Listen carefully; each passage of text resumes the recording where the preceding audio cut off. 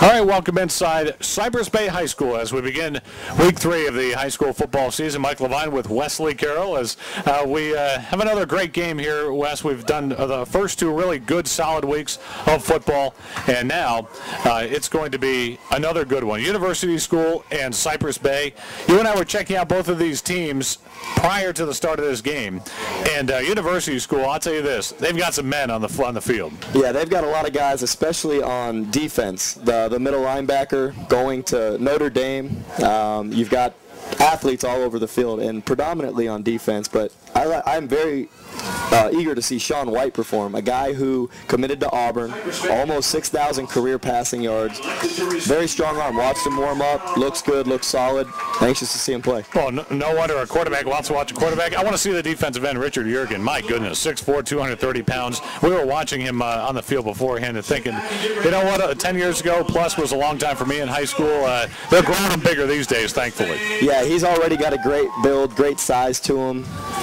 Goes to college, probably put on another 20 pounds. Oh, Before boy. you know it, he's probably in the NFL. Yeah, but it, it'll go just uh, uh, that quickly. Now, University School defending state champions. They now move into 4A. They may beat Booker T in the playoffs. You never know. Cypress Bay, they are in rebuilding mode. They lost Alex Montgomery, Geronte Lewis, and Matt Days. So Mark Guandolo, his first game back here this season, uh, they have to do some retooling. Yeah, he's certainly got a challenge ahead of him, but uh, you know he's a good coach. He's worked with many different teams. Every year you have a new team, so you just have to find your identity. Got to roll with it. You, you don't have the luxury of picking up players and, and making trades like they do in Right. the in the professional ranks, but um, he'll do a good job of getting this team to work. He'll find out where their strong suit is, and he'll definitely excel at some point. Now, University School is very balanced with Sean White uh, and his passing game, but also how about the running game with Jordan Scarlett, who's got offers pretty much from everybody, including Wes Carroll. I mean, it's just, that's how impressive he is. And Lawan Hunt is the senior. He's a verbal Air Force. I mean, you have two backs that are D1. That makes life a lot easier for a QB. Well, they are predominantly a running team as well. As good as a quarterback that Sean White shows he is, they still predominantly run the ball. Right. And that, of course, is a quarterback's best friend. If he has to win a game, he's more than capable of doing it. All right, well, uh, that'll do it uh, for here. We'll take a break, step aside, bring kickoff after this.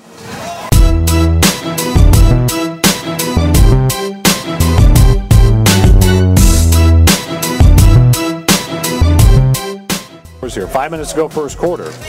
Here's Sean White, gives to Jordan Scarlett. Side steps one defender at the 40, now outside the numbers, 45-50, 45-40. It's a full race to the end zone, 35-30, 20, 15, 10-5, and a touchdown for Jordan Scarlett. Outside zone play, uh, getting outside, they've done a great job. They've got some speed with this uh, with this running back. Mike Epstein now in the backfield on this first and goal from the two. Tellefson trying to take it himself, a little QB draw following his center. Still no signal from the line judge. And oh, there it is, touchdown. Touchdown for Lucas Tellefson, the QB draw. Hey, and a nice drive by Cypress Bay. They're on the board, still unguarded. Nobody touched Jarius Brown, and that's just a little dump-off slant over the middle that goes for a score. A 15-yard hookup from White to Jarius Brown and makes it 19-7 for University School. They're moving right to left. Here's the give, a middle run for Scarlett. He's in for a touchdown. Clock run down, and the final score 37 7. University School an emphatic 30 point win here tonight in Cypress Bay.